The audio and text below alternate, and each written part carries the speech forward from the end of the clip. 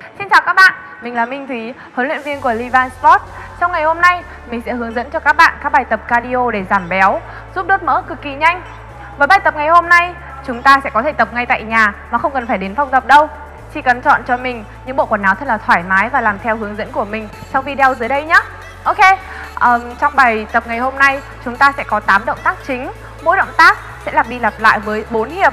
Giữa mỗi hiệp chúng ta có thể nghỉ từ 10 cho đến 20 giây. Ok, vậy thì còn chần chờ gì nữa mà chúng ta không cùng bắt đầu bài tập ngay bây giờ nhé. Bài tập đầu tiên, Power Jack. Đầu tiên các bạn hãy nhảy lên giống jumping jack kết hợp với sumo squat. Hãy ngồi sâu xuống hết mức có thể và bật nhảy lên. Bài tập này tác động lên hầu hết tất cả các cơ trên cơ thể của bạn. Toàn thân bạn sẽ cảm thấy thoải mái và căng giãn nhất có thể.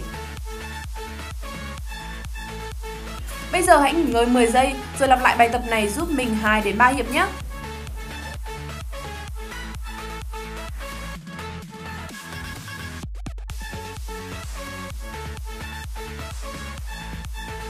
Bài tập tiếp theo High Plank Position. Động tác jumping jack ở tư thế plank. Đầu tiên, các bạn hãy bắt đầu ở tư thế plank. Hai chân khép Bật nhảy hai chân sang hai bên Rồi thu chân về ở vị trí cũ. Nhớ là hãy luôn giữ lưng thẳng. Và bây giờ hãy cùng bật nhảy nào. 3, 2, 1 Các bạn hãy nghỉ 10 giây rồi tiếp tục nhé. Còn mình sẽ chuyển sang động tác thứ ba Jumping lunge. Tiếp theo, động tác thứ ba Động tác này kết hợp giữa lunge và jumping jacks. Đầu tiên, bạn bắt đầu ở tư thế đứng thẳng, hai tay xuôi thân. Sau đó bạn bật nhảy, chân trái ra trước, chân phải ra sau. Hai tay đánh lên đầu, rồi tiếp đất bằng mũi chân và trùng gối xuống thật sâu. Tiếp tục nhảy và đổi ngược chân nào. Bắt đầu tập 20 giây, sau đó nghỉ và lặp lại động tác vài hiệp giúp mình nhé. Giờ chúng ta sẽ chuyển sang động tác thứ tư, Mountain Climber. Mình còn gọi bài tập này là plank leo núi. Và bây giờ các bạn hãy bắt đầu ở tư thế plank nhé. Hai tay rộng bằng vai, đầu gối đẩy cao ra phía trước. Cố gắng đẩy càng cao càng tốt và bật nhảy 20 giây nào.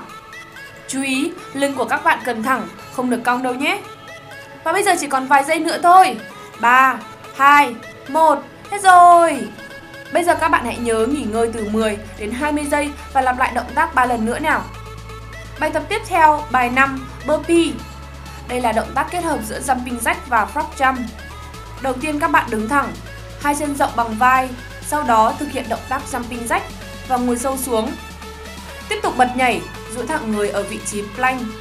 Nào, chúng ta hãy thực hiện lại một lượt các động tác nào.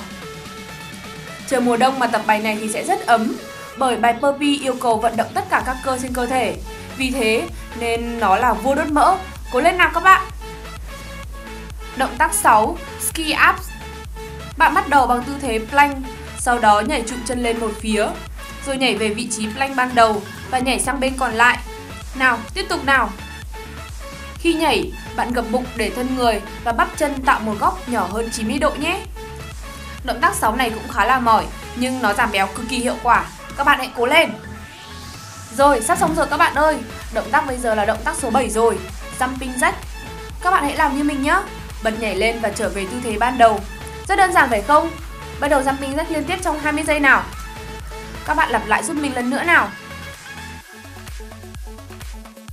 Và bây giờ là động tác cuối cùng rồi, đó chính là plank.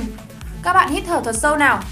Chống tay vuông góc với sàn, nhìn thẳng phía trước, lưng và chân thẳng với nhau, hóp bụng và luôn giữ lưng thẳng nhé.